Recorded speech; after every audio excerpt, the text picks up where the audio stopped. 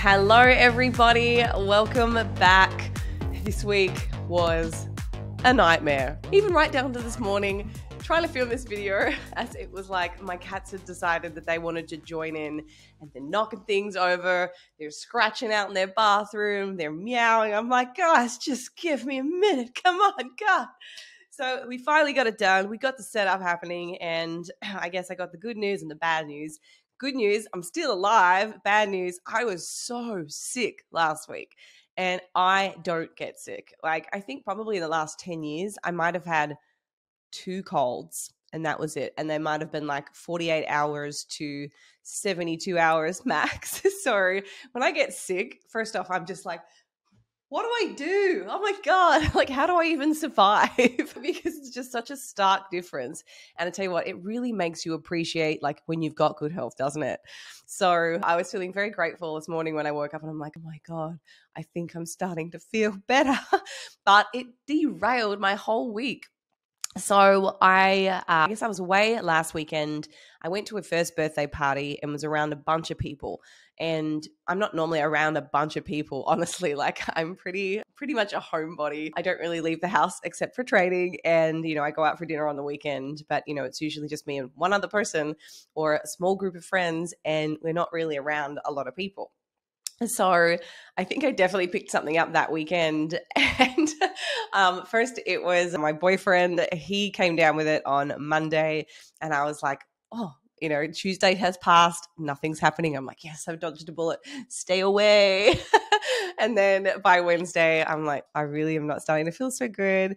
And then by Thursday, like the the day was just like a struggle past trying to get through all of my client check-ins and truly like I hate letting people down. so, you know, clients come first. I got through all of my work, but I can tell you now by I don't know, 11 o'clock on Thursday night. I was sitting there like shivering, had like a high fever. I could barely breathe. and I was convinced at one point when I went to sleep or I was going to sleep, like, I'm going to die in my sleep because I'm not breathing. Like, my respiratory was so like affected by this bug or whatever it was so, and I guess I grew up with asthma pretty bad as a kid. And I think the only times I ever really had an asthma attack were exercise induced. So I think I had exercise induced asthma, but also extremes in temperature. So if it's really cold, and believe it or not, even if I have like a slushy, you know, those like thick, delicious, colorful things that you get at 7 Eleven. Um, if I have one of those and I sip too quickly or take too many sips, I guess just that cold in my throat my body's like panic attack, anxiety, we can't breathe. so I've avoided those things for a, the better part of my adulthood. Or if I'm trying to train in really hot climates, I mean, that's the only other time that I have a really struggle to breathe. And this felt like that. I went, I was laying down and I was like, I can't, I don't think I should lay down completely flat. I think I'm going to try and prop myself up. So I'm laying there in bed, semi upright, so uncomfortable, so angry, just like fuming because I was like, I have so much to do and I want to be sick. And I was convinced I was going to die, but uh, thankfully I didn't. I'm still here, I made it through, but not without a lot of frustration this week. So, runny nose, it was just constant sinus pressure, headache, low energy. And of course, you know, when we're sick, no one's happy. So I was so grumpy over the weekend. Just it really had to try and talk myself like it's only this is temporary, it's going to pass, you'll get through it. And I guess, you know, with such a big goal, you know, to work towards, having to take a full week off training definitely was a little unsettling. I know that I've got lots of time. I haven't picked a show date yet. I know roughly when uh, I want to be, you know, at my peak, but it doesn't make that experience any more comfortable. so, yesterday, Sunday, was the first time I woke up in the morning and I was like, okay, I think I got this. I seem to be not coughing and spluttering, which is a good thing. I don't want to pass it on to anybody. Otherwise, I would have stayed home. So I was back to, you know, being able to breathe but man, my energy level was still really, really low. But I managed to spot select a few exercises, which I'll show you. We have a look at my data today, kind of how I selected exercises to choose when I've missed an entire week. Like, is there a priority? How do you do that? You know, what should be the most important? Are we focusing on just getting calorie expenditure? Are we focusing on, you know, some heavy lifts? Like, how do you choose? So I'll talk a little bit about that when we jump over. And honestly, I just wanted comfort food. I was like, you know, my hunger is still kind of there. Obviously, when you get a cold, your appetite is a little bit suppressed. Um, but I was definitely still kind of hungry. So you'll see this week, I did still try to eat. And I know like part of my body was like, food. And the other lean part was like, yes, feed me, please. so there was still that turmoil going on. Um, but, you know, I think it's really important to know when we get sick, especially if you have a fever. In fact, there are certain medical conditions or like post operative conditions where we actually have an increased need for protein and energy. So, obviously, as your body is trying to fight off that infection or it's trying to recover from a very inflamed state, i.e., having a surgery or something kind of major like that, our bodies do need more energy to to work and to function. So, I think, contrary to popular belief, and, and I think a lot of people would think, well, I'm not doing any exercise or I'm not moving, so I probably shouldn't be eating my normal amount of calories.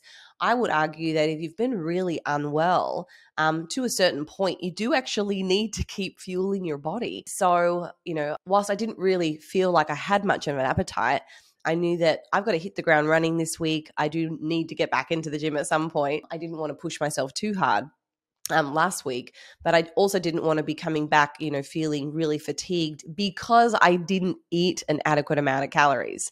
So I definitely pushed in a lot of food that I didn't really feel like eating. But by last night, I was just like, oh my God, I just want to feel better.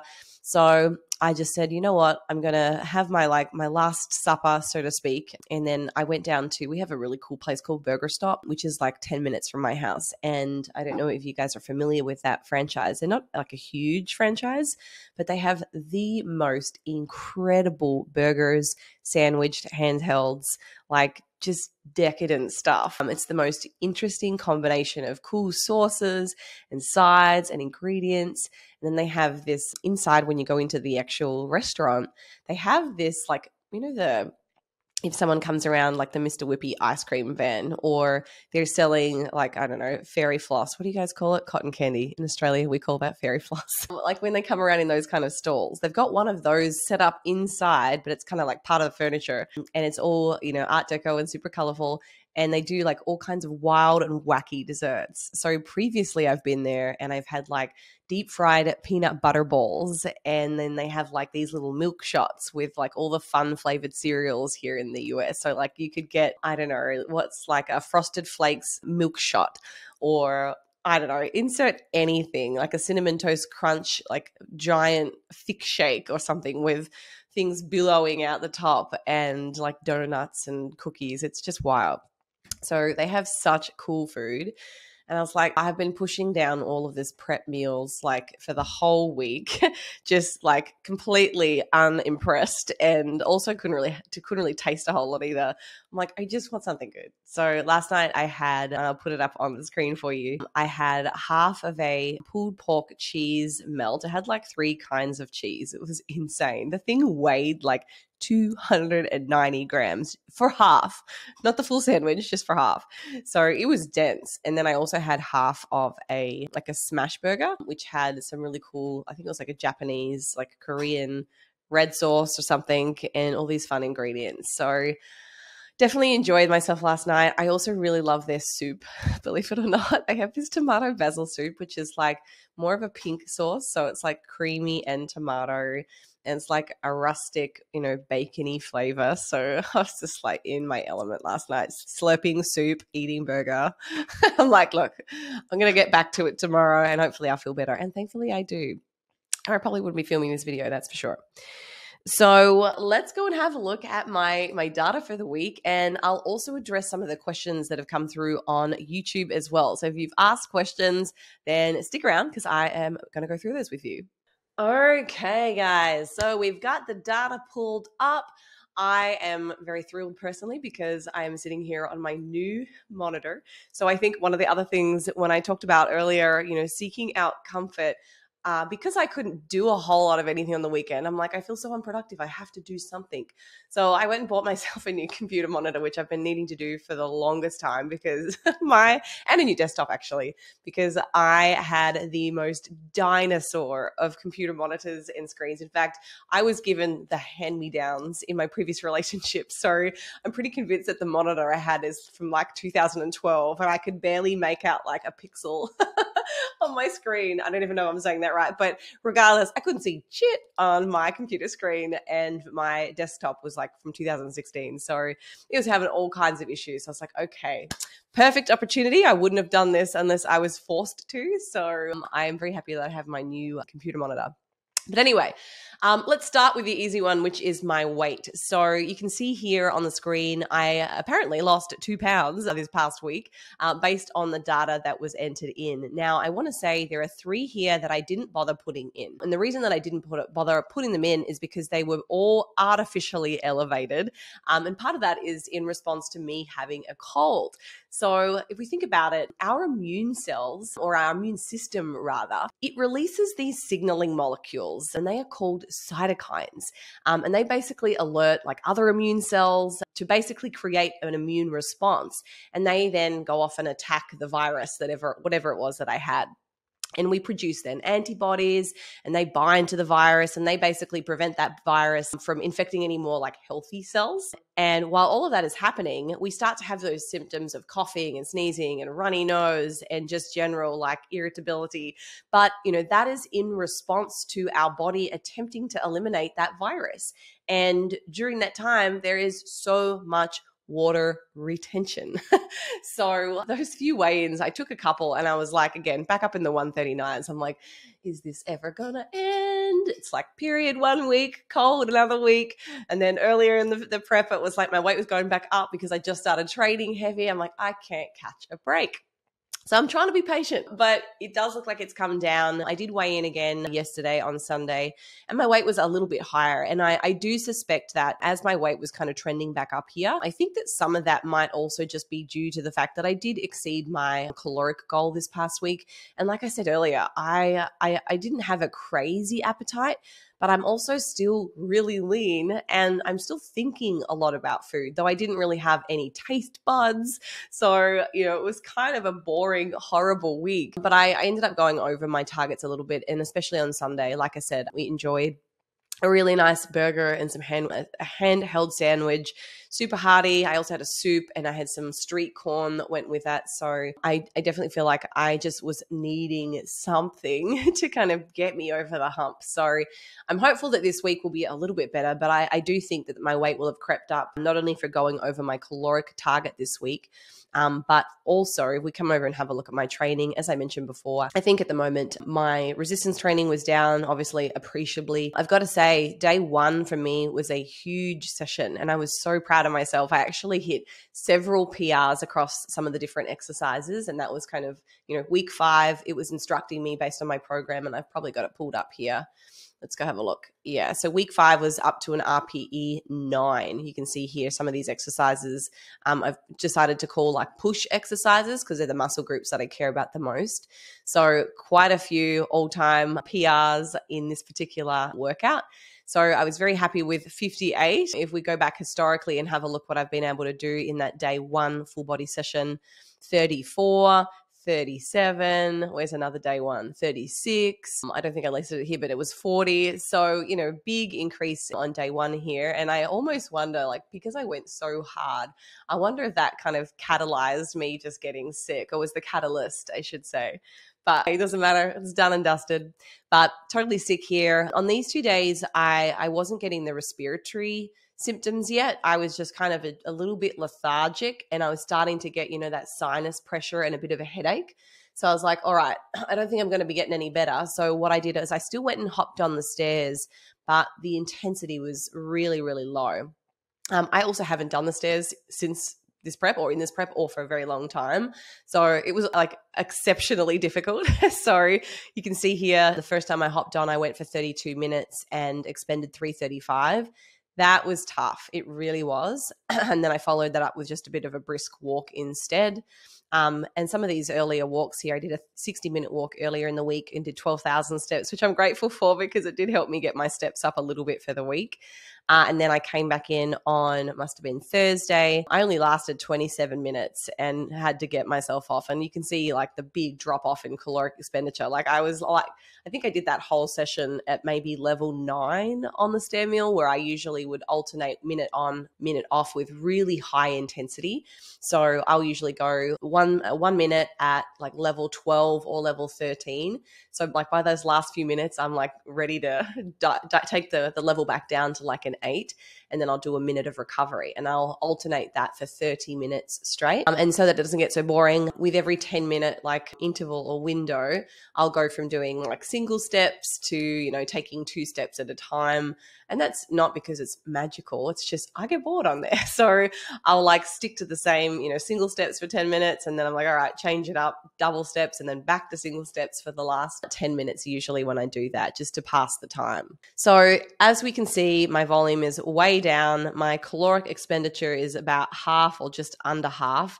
So I do think that this week, despite having a cold and having slightly increased or elevated energy and protein requirements, just because I am a very active person, they would not have, you know, cancelled one another out. My exercise activity is usually substantially higher. So I do think that this is probably just a bit of a week, which is unfortunate, but you know, you can't help it. And I I think this is definitely giving me, I guess, the motivation to make sure that I'm really mindful with how often I kind of go out and socialize and kind of subject myself to germs.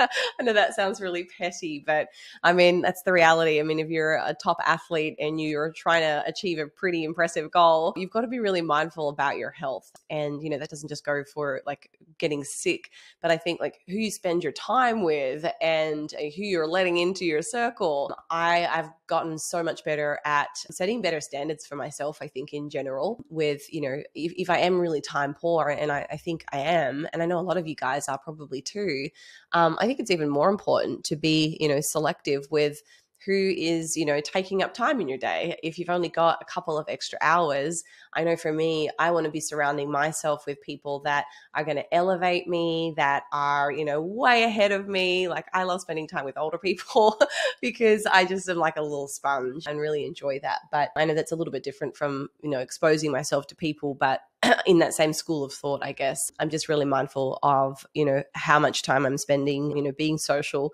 when, you know, I've got a lot of things I want to accomplish. So, you know, I think it's okay to say no. So this week I averaged 8,000 steps, which is great. That was part of my goal. Um, obviously, my total caloric expenditure for the week is way down, but I'm honestly just excited to keep it going. And hopefully, this week will prove to be another successful week. So I hope I can catch up. I won't be upset if I don't. I mean, it isn't the end of the world. So if we go over to my summary sheet now, and sorry that the screen is kind of split, this is a slightly different view. But if we go to this past week, my average weekly weight came in at 137.3. I was meant to be at 135.9. So again, from the earlier weeks, we discussed maybe me not actually being able to catch up to that because of the increased inflammation or that inflammatory response to my training. Obviously, going from doing very little to doing a lot, you know, I'm probably going to maintain a certain baseline level of total body water because my training is hard. So, this I might be chasing my tail a little bit for this for the remainder of the prep. But as long as I can keep, you know, staying in, uh, consistent with this 0.8 of a pound of weight loss each week, I'll be really happy. So we will continue to track forwards. Um, as far as I guess the questions from YouTube are concerned, let's pull this up. So I have here on the screen the previous videos and the questions. So the first question here was actually about essential amino acids. So, I guess we can probably go back a little bit. I mean, there are nine essential amino acids, and these are really important for a, a wide variety of different processes and functions within our body. Um, the ones that are most important, I guess, from a resistance training perspective, is leucine. So that's one of the nine essential amino acids. There are other things like valine, phenylalanine, phenylalanine tryptophan, and a host of others.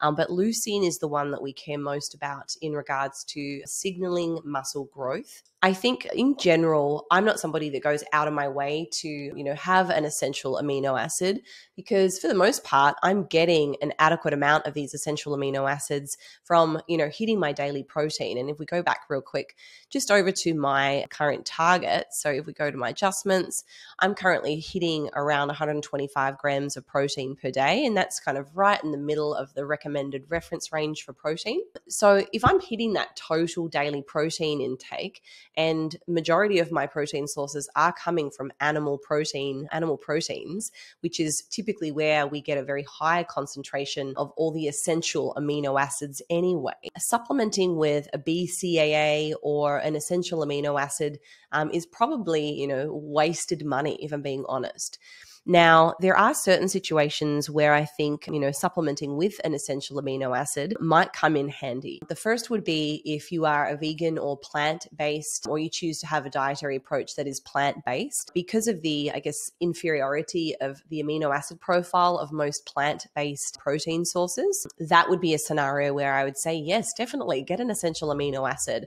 You know, now you're actually giving yourself an opportunity to get, you know, a good two grams of leucine or your amino acid profile through supplementation. And then the other situation where I would personally start to consider supplementing would be is if I am very lean and I've been dieting for a long time and maybe I've had to not only make a couple of sacrifices to like my overall, you know, energy intake, but at some point, you know, if my calories were to get low enough, and I haven't had won't well, I haven't had to do this yet, and hopefully I don't, but historically I've been under the pump to get to a certain level of conditioning for a competition. Or maybe if you're somebody that's dieting and you're doing a photo shoot, could be for anything. You may have had to actually start to shave a little bit off the top of your protein to get your calories down because you might already be bottoming out at your carbohydrates.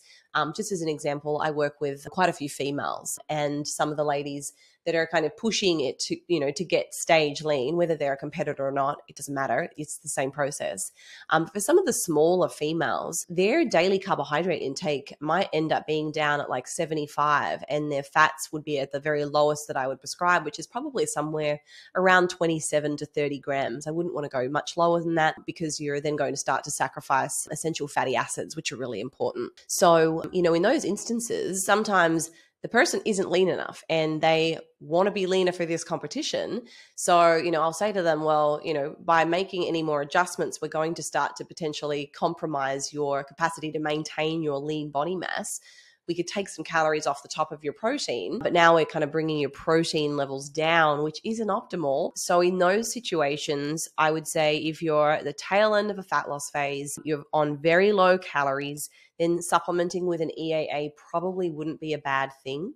And the other scenario, which also falls in suit with dieting, is if you're somebody that's practicing intermittent fasting. I tend to do this a little bit. Again, depends on where my calories are. But if I'm getting down to the wire and the gnarly end of my calories, which might be like 11 or 1200 per day, it's not a lot of calories.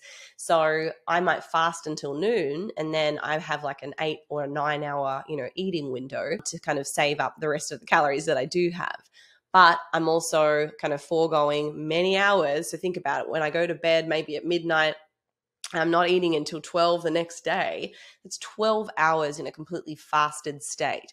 So, in those situations where you might also choose to intermittent fast and you're not getting, you know, immediately available protein, uh, and perhaps you're working out in the mornings, it might not be a bad idea to supplement with an essential amino acid to just make sure that there is some leucine available in that immediate post training setting Um, otherwise, you you may not necessarily have any immediately available leucine kind of facilitate that process, not without kind of starting to break down your own existing, um, you know, protein reserves, aka your fat-free mass or your lean tissues. So I hope that that kind of gives you a little bit of insight into the question around essential amino acids. Um, I think if you're at maintenance or in a surplus and you've got a good amount of calories uh, and you're eating, you know, an animal-based diet or an animal, um, a pro- protein, your protein intake is coming from animal-based sources, then I don't think that having an amino acid, an essential amino acid supplement, um, really offers any additional value. Um, okay, so the next question was about my training regimen just being full body rather than a classic split. So it's a really great question. Part of the reason, and again, I know I've talked a little bit about this, but perhaps from a slightly different angle in previous videos, I'm only able to get into the gym four days a week at the moment. I'd love to be able to train five or six, but I, I can't. I mean, the weekdays, especially, you know, I've got lots of meetings on Mondays and Fridays, and I, I have to basically start work as soon as I get out of bed. Um, there's no time for me to do it in the mornings. And historically, you know, someone might argue, well, why don't you just get up and do it at like five or six in the morning? I'm also working through to like midnight most nights because we've got so many irons in the fire within our company. So, I mean, that would give me what four hours sleep? No thanks. so I tend to kind of work late. So I do want to, you know, make sure at least I'm getting six to seven hours sleep. So that's also not, you know, a feasible option for me. So, four days a week of training and with such high training volumes. And again, I just want to pull us, uh, our attention back over to my weekly breakdown. So, for me to get optimal growth, I want to be up in the 20s for the muscles that I care about. So, for me, again, just as a reminder, that's my shoulders and glutes. I'm hitting 24 working sets on these two muscle groups.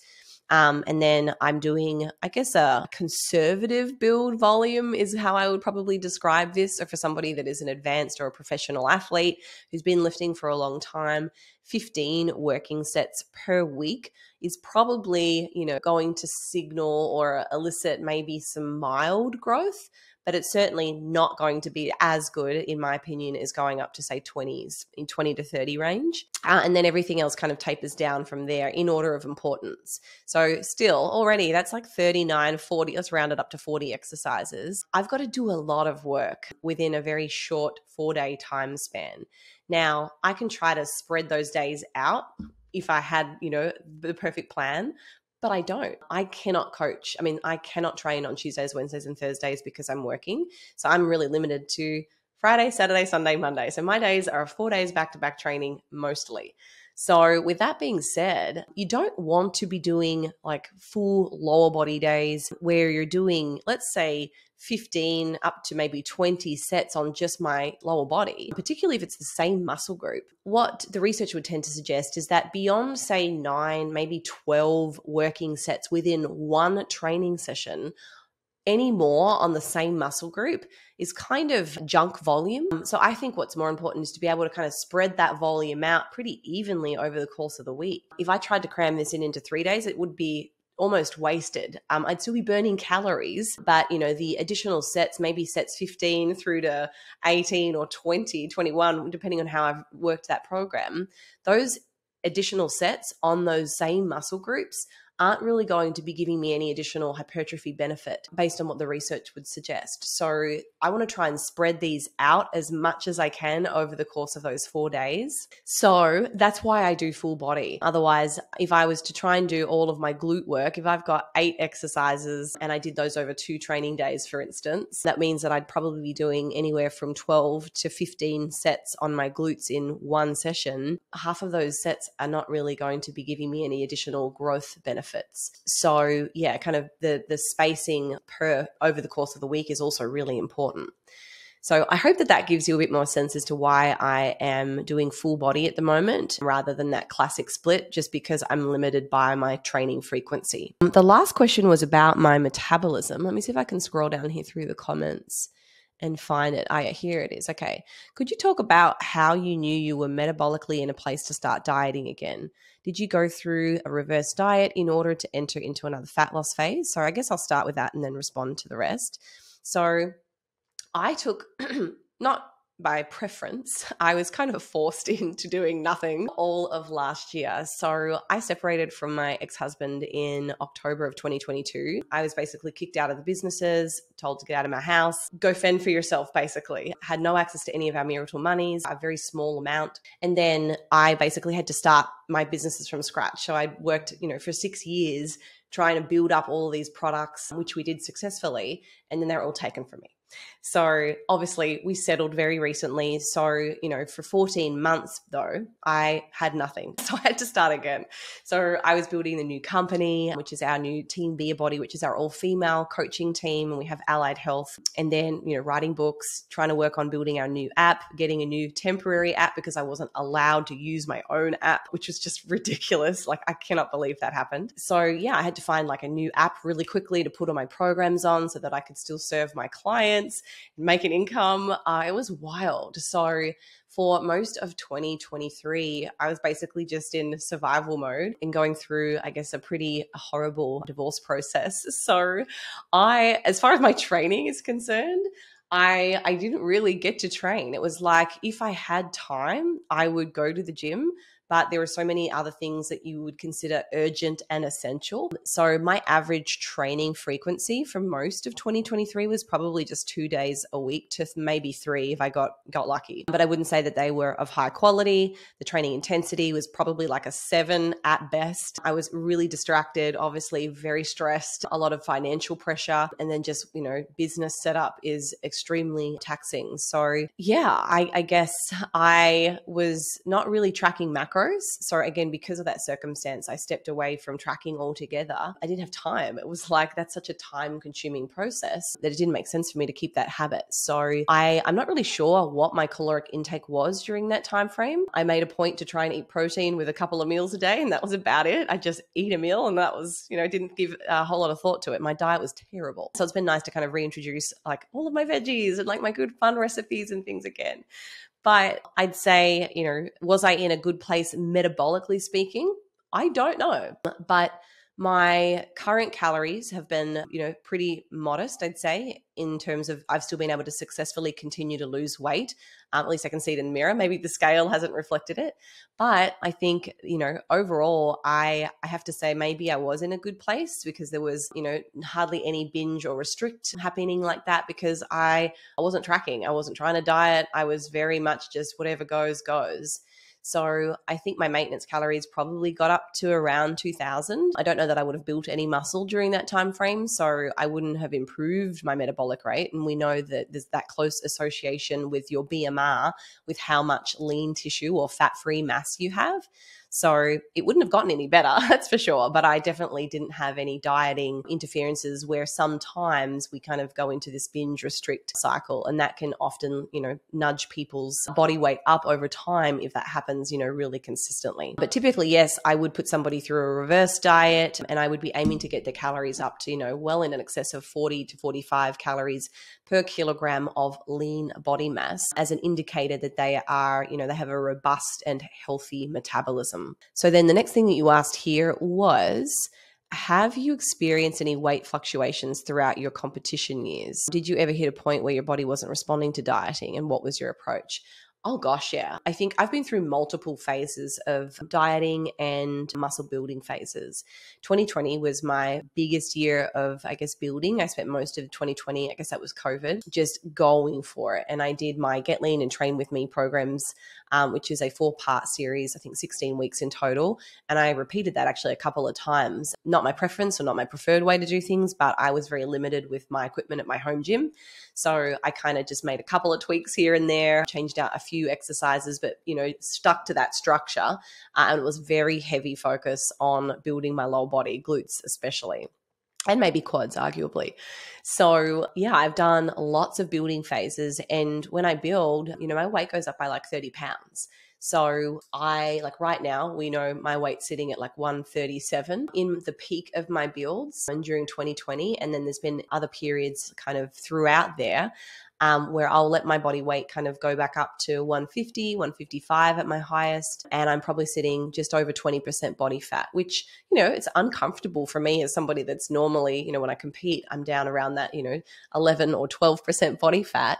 But it's also really important to like give yourself a break. And, you know, you can't build muscle out of nothing. So if you're expecting to stay lean year round, and put on muscle. It's just a very slow, I won't say impossible, but a very slow process. You know, you need to have energy available, whether that's in the form of like visible body fat, your adipose tissue, or calories coming in from the diet to you know be able to build the foundations build the building blocks of that muscle that you're trying to grow so yeah, lots of those kind of big cycles in my weight. So yeah, I, I'm all I range anywhere from as low as 130 when I'm getting on stage, really lean, all the way up to 155. And I'm happy anywhere in between there. Though I say I like to feel fit.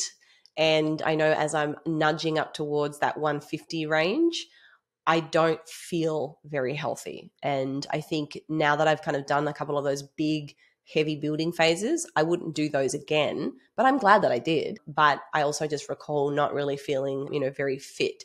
But I think also I didn't prioritize keeping in any, you know, maintenance cardio for my cardiovascular health. And I think that could have made a big difference. So, yeah.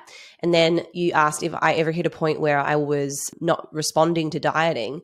Oh, absolutely. You always hit plateaus. And there's always going to be a point where you you reduce your calories and you eventually get to a point where your caloric intake what you're taking in matches what your body is expending. And at that point you have to make an adjustment. You uh, make an adjustment to more movement or less calories or a combination of both. I often find that the combination of both is a little better. So yeah, you you I always reach those points. And in fact, you know, we've just seen with my data um, over the last couple of weeks, things appear to be kind of stagnate, stagnating. I think I've had a couple of bad weeks or frustrating weeks. I shouldn't say bad, just weeks with lots of interferences that are kind of masking my progress. But I will get to a point here probably in the next seven to 10 days where I'm not going to be making any more progress if I hit these calories and I'll have to make another adjustment. It's not fun. And I'll have to make probably a 10% adjustment to make sure that I get a nudge or the needle moves. But, you know, I can also do a pretty specific mathematic calculation to, you know, determine exactly how much of a calorie deficit I need to create to achieve 0.8 of a pound of fat loss. And we can do that through diet or I can do that through added in additional exercise. Although I will argue if you've got to make, let's say, like a 250 calorie adjustment to in to result in say 0.8 of a pound. Again, I'm just throwing out a random number. You can either do that every day through restricted calories, or you could do an extra 250 calories worth of exercise.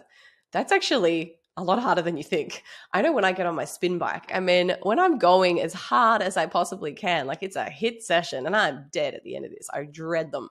Um, these 30 minute spins where I'm burning 366 calories men, if I have to make an adjustment of 250, that's essentially like me doing another HIIT class every day for about 20 minutes.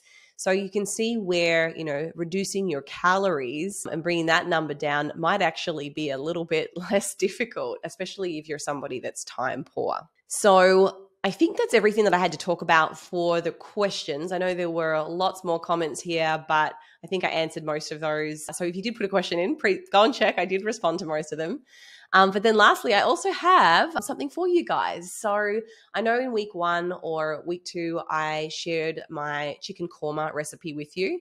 And then I had this meatballs one as well. And then I did my homemade stuffed crust pulled chicken pizza. I have another couple for you for this week. So if you go to the link to description, or sorry, the description, there is a link uh, where you can download this and you'll get all the previous weeks that I've given away some recipes. But I do have a FODMAP friendly taco recipe. FODMAP, for those of you who don't know, is, I guess, fermentable oligosaccharides, disaccharides, and polyols. These are, I guess, compounds found within a very wide variety of different types of foods, fresh fruits, vegetables, you know, breads, grains, and cereals, dairy, you know, they're kind of sprinkled in throughout, um, but they contribute to quite a bit of gastrointestinal discomfort, particularly in people that are suffering from IBS or irritable bowel syndrome. Um, I have that and I really struggle with garlic and onion, which I love. It's so depressing because it tastes amazing But this particular recipe is a FODMAP friendly one, as are nearly all of mine because I don't want to eat onion and garlic. So, this is a great taco recipe. I've got all the macros and ingredients here listed for you, and even a little grocery list at the end. And then I also have another recipe, which is like a breakfast burrito that I made one of the mornings. Uh, I've got a picture for you there that you can probably see on the screen. Um, and I've got all the macros and the ingredients for you if you want to give any of my prep recipes a go. And then don't forget to also check out on our website my all my book selections. We have tons of uh, I guess macro friendly recipe books. I've also got my recent publication, the book The Complete Exercise Guide to Muscle Hypertrophy that has so much incredibly like detailed information from things uh, relating to the mechanism of how a muscle grows, how much muscle we can grow naturally. And then I also talk about all of the different types of training techniques um, that you often see kind of implemented in the practical setting from recovery time to blood flow restriction to you know range of motion partials versus lengthened there's a whole host of things training volume periodization. There is a chapter basically on each of the really kind of key important subjects that we often see people speak about on social media. And i go into quite a bit of detail and break down like a different study. So i kind of here's a study here's you know how they did this study and then here's my summary of this. And then i do that for multiple different studies within that same area uh, and then provides you like an overview of how to apply this to your training. So that's a really great book. People that have read it and have provided us feedback have said that it is better than any course that they have done online. So i i see that as a really good thing. I'm really glad that people are finding it helpful. So Go and check out our books. And then, last but not least, if you are interested in one on one coaching, please do not hesitate to reach out. Um, I am still taking on one on one coaching clients. I take on a little less at the moment because of my busy schedule, but we also have our entire coaching team here at Team Be Body. So, all the links to our website where you can get a hold of everything from free PDF downloads, progress trackers, free workouts, free chapters of my book, and then all of our products and services are available on our website. So, Thank you so much for tuning in. I hope that this is a better week coming up.